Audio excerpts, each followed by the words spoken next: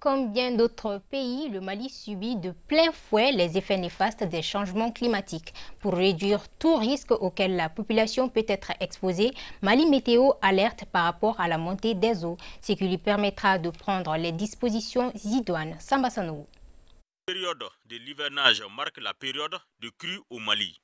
Comme chaque année, il y a un moment où on constate la montée des eaux. Les fleuves restent le pôle d'attraction pour une partie de la population qui vient vivre au bord du fleuve. Faire la baignade, la lessive, le lavage des engins roulants, entre autres. Cette année, le niveau des eaux va connaître une montée. Oui, ce qu'il faut savoir, c'est que nous avons en début de saison prévu des cumuls importants.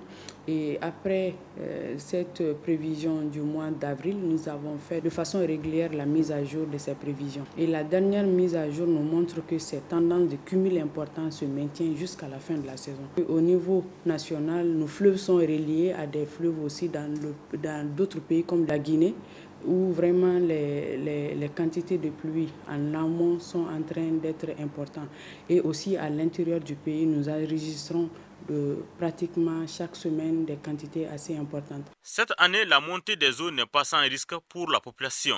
Nos bassins fluviaux sont fortement influencés par euh, les eaux d'écoulement au niveau de la Guinée.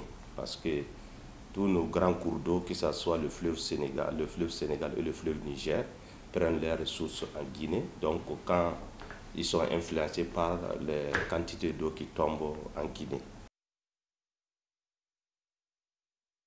Les prévisions de 2023, il est prévu une situation hydrologique moyenne au niveau du, haut bassin du Niger et au niveau du haut bassin du Sénégal. C'est-à-dire en termes de localité, pour le fleuve Niger, il s'agit de, quand on dit moyen, ça veut dire que le, au niveau de Bamako, Koulikoro et Ségou, ça c'est le haut bassin du, du, Niger.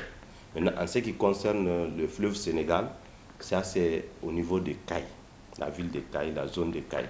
Donc ici, on a dit que la situation pour 2023, elle sera moyenne. Ça veut dire qu'il n'y a pas assez d'inquiétude en ce qui concerne euh, euh, les inondations, les débordements des cours d'eau Devant la menace de la montée des eaux, les citoyens qui côtoient les fleuves disent mesurer tous les risques.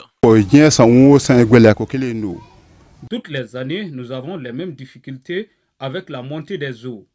Toutefois, nous prenons des dispositions pour nous mettre à l'abri des inondations. Dieu merci, nous n'avions jamais constaté de pertes.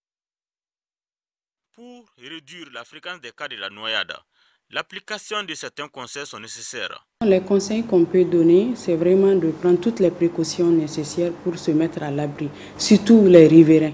Donc on les demande de prendre toutes les précautions nécessaires pour vraiment se mettre à l'abri de ces inondations, parce que les quantités de pluie qui restent quand même dans l'eau qui reste dans l'atmosphère ne sont pas négligeables et la prévision à la date d'aujourd'hui montre que ces pluies seront encore importantes par endroit. Donc on les demande d'être très vigilants, d'écouter chaque fois les informations météorologiques, si possible vraiment de s'éloigner de, de, de, de, la rive. Nous demandons à la population de rester vigilante, surtout euh, les populations qui sont riveraines des cours d'eau, des marigots, des grands collecteurs, et d'éviter de sortir euh, surtout sous la forte pluie et d'éviter des zones de base, des, des, zones de ruissellement. Faisons en sorte que ces conseils ne tombent pas dans les oreilles d'un sourd. Il y va de notre protection.